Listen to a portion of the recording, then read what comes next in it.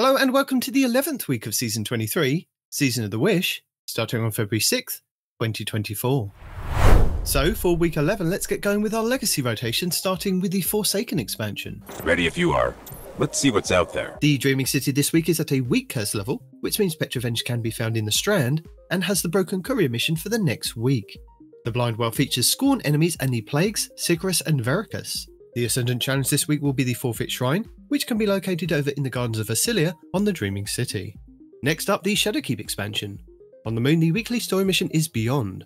The Trove Guardian and the Wandering Nightmare, the Fallen Council, are both located in Archer's Line. And the Nightmare hunts this week will be Phogoth, Fear, Crota, Despair, and the Fanatic, Insanity. For our Beyond Light expansion, on Europa this week, Kridis the Dark Priestess will be the Empire Hunt, Eventide Ruins will be the Eclipse Zone, and the Exo Challenge will be Survival. For the 30th anniversary expansion, Dares of Eternity legendary rounds are Vex, Cabal, and for the final round, Crota. The loot rotation will be on week 2's rotation, with the Scatterhorn armor set and the Perfectus armor set being available.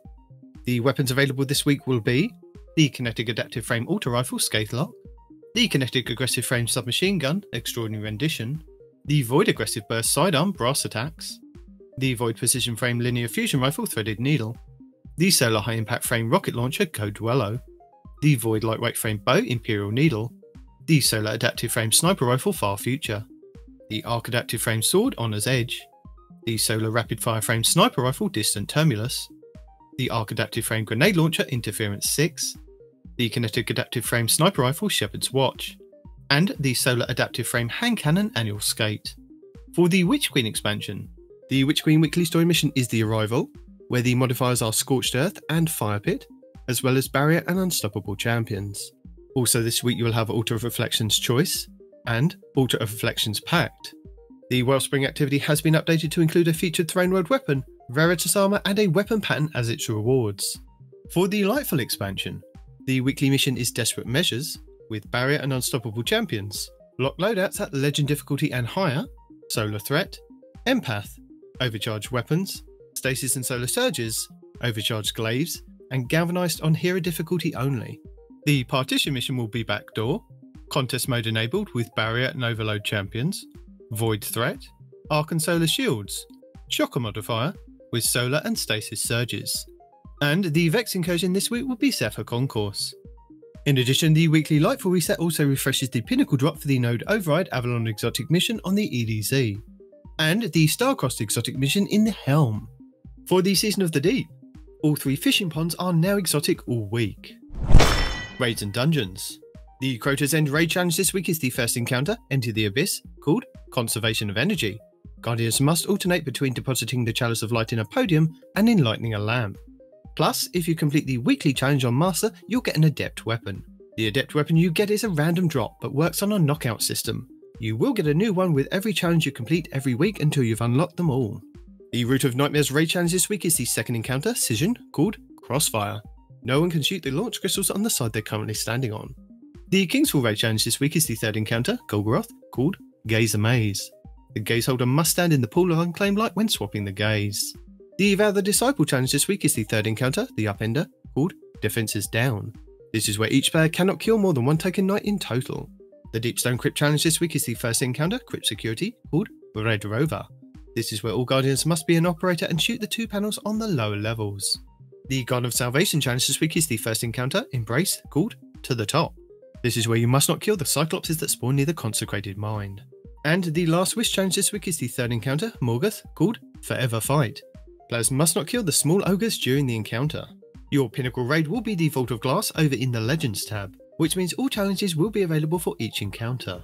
These are the first encounter, Confluxes, called Wait for It, where every Yellow Bar Wyvern must be killed as they sacrifice themselves to the Confluxes. The second encounter, Oracles, called The Only Oracle for You. Players cannot destroy the same Oracle more than once. The third encounter, Templar, called Out of Its Way, where you must keep the Templar from teleporting. The fourth encounter, Gatekeeper, called Strangers in Time. Players must defeat the Praetorians and Wyverns at the same time. And the fifth encounter, Atheon, called Ensembler's Refrain. Each player teleported can only destroy one oracle in each spawn set. Also, with the Vault of Glass being the featured raid, this does mean that you can farm the final boss for a chance at the exotic fusion rifle Vex Mythoclast. The pinnacle dungeon will be the Shattered Throne over on the Dreaming City, and the exotic mission rotator will be Presage, with the Dead Man's Tale exotic scout rifle being the main reward. Craftable weapons available from this mission include the Arc Adaptive Glaive Nezarec's Whisper, the Stasis Aggressive Frame Rocket Launcher Bump in the Night, the Kinetic Precision Frame Scout Rifle Tears of Contrition, the Void Adaptive Frame Trace Rifle Hollow Denial, the Kinetic Precision Frame Auto Rifle Firefright, the Solar Lightweight Frame Shotgun Without Remorse, the Kinetic Adaptive Frame Hand Cannon Austringer, the Solar Sidearm Drang Baroque, the Solar Adaptive Frame Sniper Beloved, and the Solar Submachine Gun Calus Mini Tool, with the Eidolon Pursuant armor set. Next up, challenges. We have now had all 66 challenges over the first 10 weeks of the season.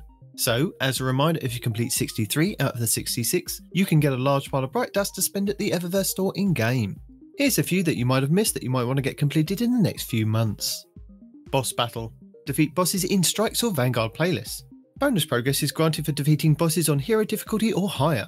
4. Challenge XP and Bright Dust.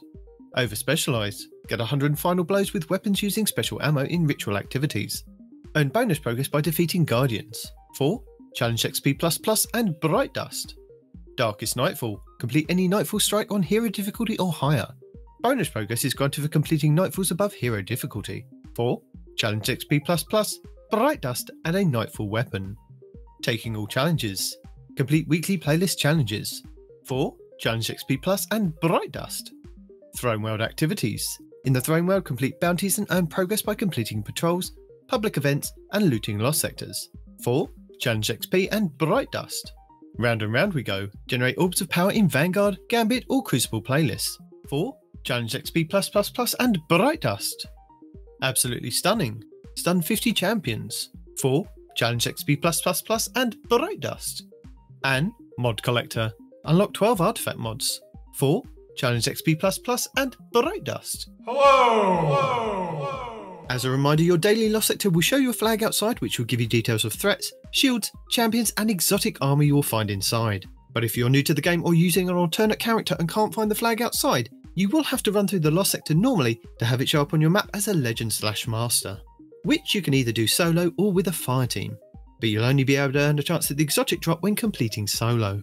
This season will see the introduction of Gunsmith engrams, as well as a selection of foundry weapons for completing Legend and Master lost sectors while solo, with Legend being a 70% chance to Master being 100%, assuming the Guardian is thorough enough to leave no champion standing. Thorough completions on Master difficulty will also have the advantage of weapons dropping an additional perk in either the third or fourth column. The weapons available from the lost sectors are grouped into 4 weapons per day over 4 days, and after the 4th day the cycle repeats back to the first set. The following weapons will be available from the Lost Sectors during the Season of the Wish. Day 1, the Strand High Impact Frame Fusion Rifle Nox Perennial 5. The Strand Adaptive Frame Auto Rifle Old Sterling. The Solar Rapid Fire Frame Grenade Launcher Marsilion-C. And the Stasis Omolon Adaptive Frame Sidearm Sinua SI6. Day 2, the Stasis High Impact Frame Pulse Rifle Psychomatic 5. The Strand Precision Frame Scout Rifle Glissando 47. The Strand Vice Rapid Fire Frame Sniper Rifle Urakanji and the Arc Adaptive Frame Sword Nazaradin. Day 3, the Solar Lightweight Frame Sidearm Heliocentric QSC, the Kinetic Aggressive Frame Sniper Rifle Last Foray, the Arc Aggressive Frame Shotgun Hand in Hand, and the Kinetic Lightweight Frame Pulse Rifle Battle Scar. Day 4, the Nadir Void Adaptive Frame Sword Geodetic HSM, the Arc Aggressive Frame Hand Cannon Combined Action, the Void Wave Frame Grenade Launcher Harsh Language, and the Solar Adaptive Frame Auto Rifle Coronature 22. This week's rotation will start on weapon set 3 on Tuesday's reset. Tuesday, February 6th, will be Bunker E15 on Europa for exotic boots, Void Threat, Solar and Stasis Surges, Void Shields, Shocker Modifier, Overcharge Grenade Launchers with Barrier and Overload Champions. Wednesday, February 7th, will be Concealed Void on Europa for exotic gauntlets, Solar Threat, Solar and Stasis Surges, Void and Solar Shields, Arachno Modifier, Overcharged Trace Rifles with Barrier and Overload Champions. Thursday, February 8th, will be Thrilladrome on Neptune for exotic chess, Void Threat, Solar and Stasis Surges, Arc and Void Shields, Shocker Modifier, Overcharged Grenade Launchers with Barrier and Overload Champions. Friday, February 9th, will be Gilded Precept on Neptune for exotic helmets, Arc Threat, Solar and Strand Surges, Void and Solar Shields, Scorched Earth Modifier, Overcharged Glaives with Barrier and Unstoppable Champions. Saturday, February 10th will be Scavenger's Den on the EDZ for exotic boots, Solar Threat, Solar and Strand Surges, Arc Shields, Scorched Earth Modifier, Overcharge Fusion Rifles with Barrier and Overload Champions. Sunday, February 11th will be Skydock 4 on the EDZ for exotic gauntlets, Solar Threat, Solar and Strand Surges, Void Shields, Pestilence Modifier, Overcharge Shotguns with Barrier and Unstoppable Champions. And finally, back around to Monday, February 12th will be the Quarry on EDZ for exotic chests, Void Threat, Solar and Strand Surges, Void and Solar Shields, Scorched Earth Modifier, Overcharged Grenade Launchers with Barrier and Unstoppable Champions. Lead the way. Our 11th featured Nightfall will see us face off against Sedia in the Corrupted over on the Dreaming City, where you have a chance to get a Pinnacle Engram if you complete the Nightfall with a score of 200k or more. This Nightfall is free to play. You'll be able to earn high end gear for your characters, including the Nightfall featured weapon, exotic gear, enhancement cores, enhancement prisms, ascendant shards, and adept Nightfall ciphers. The higher the Nightfall difficulty, the more common the drop will be, with the featured weapon and exotic gear being uncommon at hero difficulty to being common with ascendant shards in Grand Masters. Legend and lower Nightfalls will have 3 Overload and 6 Unstoppable, with 22 Solar, 30 Void, and 15 Arc Shields. Masters and GMs will have 8 Overload and 10 Unstoppable, with 20 Solar, 28 Void, and 14 Arc Shields. Your Nightfall modifiers are Hero Difficulty, Maximum Effective Level 1765, Matchmaking is available, Enemies have extra shields, Champion's Foe, you will face Overload and Unstoppable champions. You can either use Intrinsic Exotics, use a subclass debuff, or unlock anti champion mods from the Seasonal Artifact. Overcharged weapons. Weapons overcharged from the Seasonal Artifact are active in activity. Kinetic weapons do increased damage when your subclass element matches an active surge. Arc Threat. 25% increase to incoming arc damage. Denial. Taken Vandals summon their shields more often. Arc Surge. 25% bonus to outgoing arc damage. Void Surge. 25% bonus to outgoing void damage. Overcharged weapons. 25% bonus damage with rocket launchers. Galvanized. Combatants have more health and are more difficult to stun. Legend difficulty, maximum effective level 1815, includes all previous modifiers except Galvanized. No matchmaking. Equipment locked. You will be unable to change your equipment after this activity starts. Master difficulty, maximum effective level 1820, includes all previous modifiers except Galvanized. Champions mob. This difficulty adds more champion enemies. Chaff, radar is disabled. Grandmaster difficulty, maximum effective level 1815, includes all previous modifiers except Galvanized and Denial. Joining progress disabled. Extinguish, if your fighting falls in a restricted zone, your team is returned to orbit. Limited revives, gain additional revives by defeating champions, up to a maximum of 20. Contest mode, which caps your power level to make enemies more of a challenge. And Epitaph, taking combatants generate blight geysers when defeated. To combat champions, you have access to subclass counters as well as a choice of intrinsic anti champion artifact mods. This season's artifact is the Queensfoil Censer. The anti champion mods available this week are Overload Auto Rifle, Overload Pulse Rifle, and Overload Rocket Launcher, Unstoppable Hand Cannon, and Unstoppable Bow. You also have exotic weapons and armor that can help with intrinsic mods as well. For Overload, the Void Energy Bow Le Monarque, the Arc Energy Linear Trace Rifle Divinity, the Arc Heavy Machine Gun Thunderlord, and the Warlock Exotic Boots the Secant Filaments, which when you drop an Empowering Rift, any weapon that is fired from inside the well can cause an Overload champion to be stunned. For Unstoppable, the Kinetic Fusion Rifle Bastion, the Kinetic Hand Cannon Malfeasance, the Kinetic Scout Rifle Touch of Malice, the Solar Energy Sidearm Devil's Ruin, the Void Heavy Bow Leviathan's Breath, the Titan Gauntlet Sash and Wake, where Fusion Grenade hits stun unstoppable champions, and the Hunter Gauntlet Zathras' Embrace, which have a chance to stun unstoppable champions with their empowered weighted knife. The Nightfall featured weapon to obtain this week will be the Solo Adaptive Frame Sniper Rifle, the Uzume RR4. The Uzume RR4 has a base impact of 70, a range of 60, and aim assist of 67. It can roll with incandescent, explosive payload, and deconstruction, with clown cartridge, snapshot sights, and attrition orbs. It has the origin trait of stunning recovery, where if you stun a champion, you partially refill the magazine, trigger health regen, and improve your recovery for a short duration. Vanguard Vindication, where final blows with the weapon grant a small amount of health, and Omolon Fluid Dynamics, where the weapon has increased reload speed for the top half of the magazine. Available in the 6v6 playlist will be Control. Control is a variation of Team Deathmatch, with the added variable of 3 capture points on the map. in which teams will need to work together to capture and hold the point. Guardians conquer capture points by standing on them while no enemies are in capture range. The process takes about 10 seconds and is not affected by the number of Guardians taking part in the capture. Each team begins with a capture point under their control, the one that is closest to their starting area. The third capture point will initially be neutral. Depending on the number of capture points held by a team, the points rewarded for killing an opponent varies. The scoring is calculated as follows Base kill rewards plus 1 point, Zone advantage when a team holds 2 capture points, killing an enemy will reward the team with 2 points.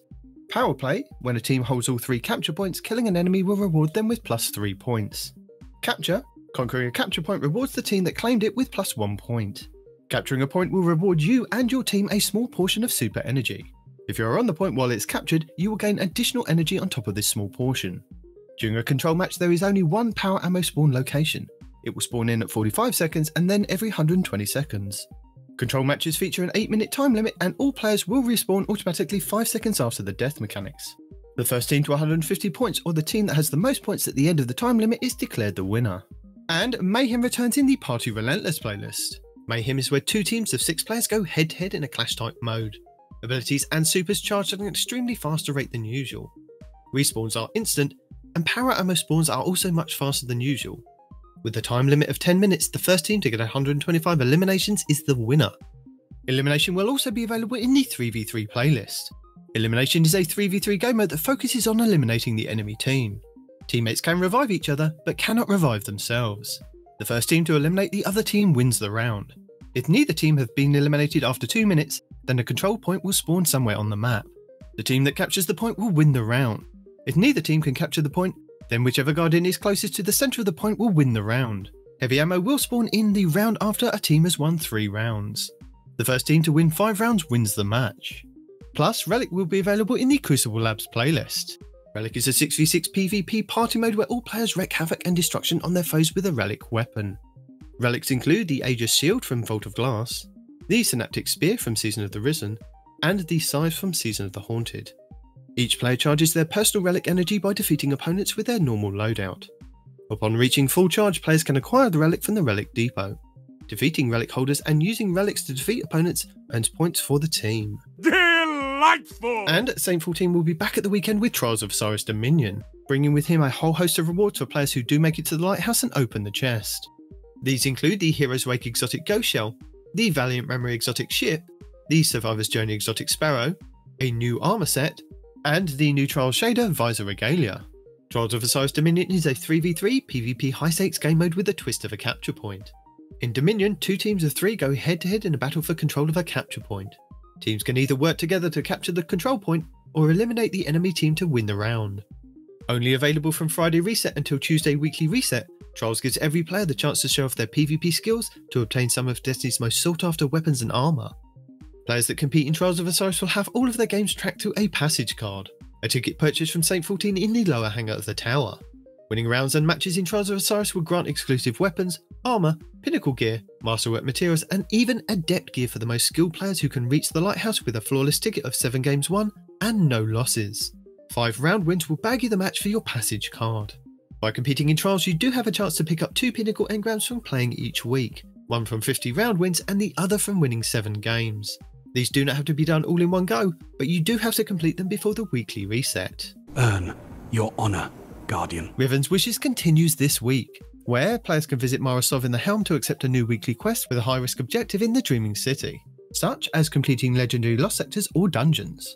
Upon completion of these weekly objectives, players can return to Mara to receive a wish token. Each week, you can use this token to choose a prize from one of the three different categories. Category 1 Last Wish Resonance, where you can choose a red bordered Last Wish raid weapon. These are the Kinetic Rapid Fire Frame Sniper Rifle Supremacy, the Kinetic High Impact Frame Scout Rifle Transfiguration, the Solar Adaptive Frame Rocket Launcher Apex Predator, the Kinetic Lightweight Frame Pulse Rifle Chattering Bone, the Arc Adaptive Frame Hand Cannon Nation of Beasts, the Arc Adaptive Frame Fusion Rifle Techeun Force, the Solar Lightweight Frame Bow Tyranny of Heaven, and the Void High Impact Frame Auto Rifle Age Old Bond. Category 2 Exotics, where you can choose a piece of Lightfall Year exotic armour. For the hunters, the Speedloader Slacks, Cyrtarachne's Facade, Triton Vice, and the Mothkeeper's Wraps. For the Titans, the Cadmus Ridge Lance Cap, Abeyant Leap, a Bull Warden, and the Pyrogale Gauntlets. For the Warlocks, Ballidorse Wrathweavers, Swarmers, Cenotaph Mask, and the Briarbinds. Category 3 Miscellaneous, where you can choose from a variety of other rewards, such as Dawning and Festival of the Lost mementos, Ascendant Shards, Ascendant Alloys, and Exotic Ciphers. Riven's Wishes will offer new quests for six weeks, but you will have time to complete them and earn rewards up through the final shapes release. That is amazing. Also continuing this week will be Moments of Triumph 2023, with a collection of 30 challenges celebrating everything you've been able to achieve in the past year. If you've been active, you'll likely already have some of these completed, which just gets you closer to getting the 26 you'll need for the 2023 title.